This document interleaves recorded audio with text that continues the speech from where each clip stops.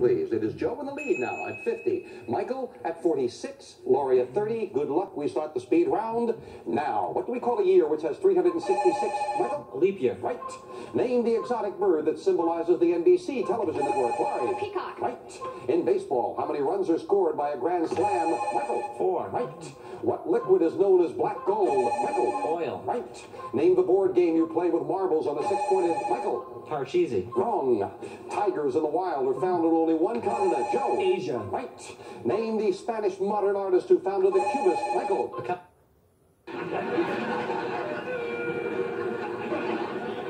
Leave? Margaret would never do a thing like